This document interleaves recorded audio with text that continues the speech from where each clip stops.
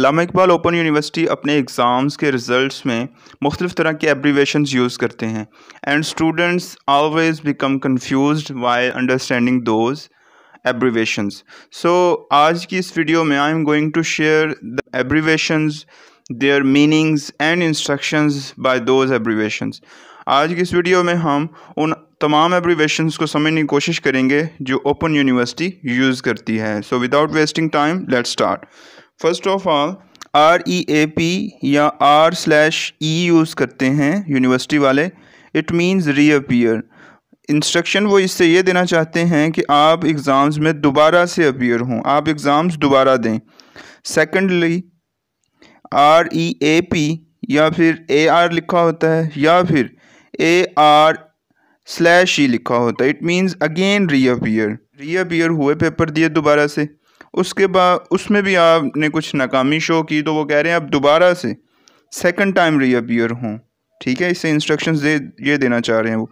उसके बाद A B S T it stand for absent और इससे इंस्ट्रक्शंस दे देना चाहते हैं कि you are absent in exam उसके बाद आर स्लैश डब्ल्यू इसका मतलब आप री वर्कशॉप करें, आप दोबारा से वर्कशॉप अटेंड करें। इंस्ट्रक्शन वो इससे दे, ये देना चाह रहे हैं।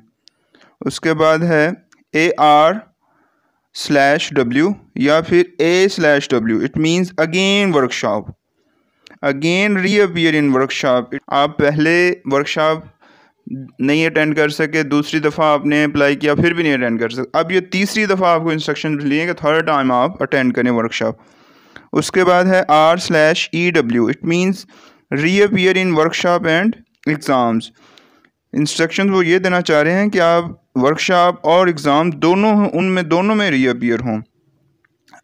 Next A R slash E W it stand for again reappear in workshop and exams instructions वो ये देना चाह रहे हैं कि आप दोबारा से वर्कशॉप और एग्ज़ाम अटेंड करें। यह भी तीसरी दफ़ा आपको चांस मिल रहा है।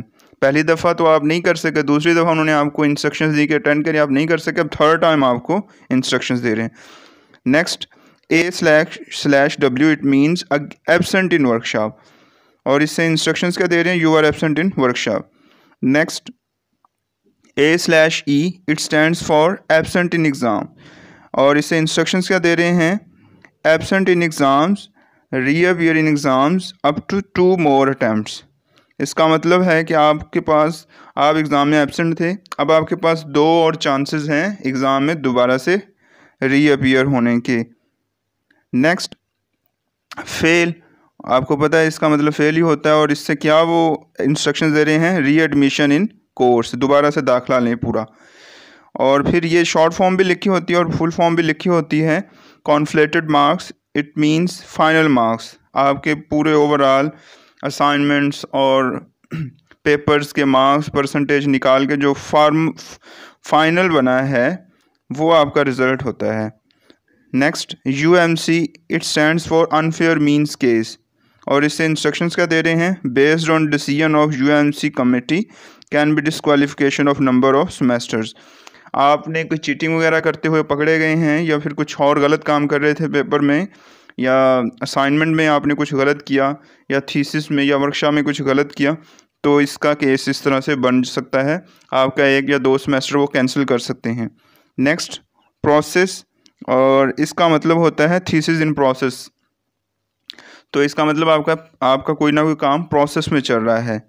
Next R slash P it means representation presentation again in post graduate programmes आप दोबारा से प्रेजेंटेशन देंगे. So, if you have any question, you can ask in comment box and if you like this video, you share with your friends. Thank you so much.